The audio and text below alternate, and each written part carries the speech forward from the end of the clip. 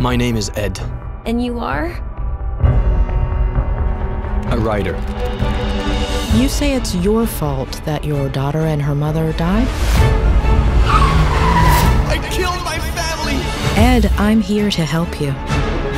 Why don't you tell me about your childhood? Tell me about your father. You've been twisting your own memories.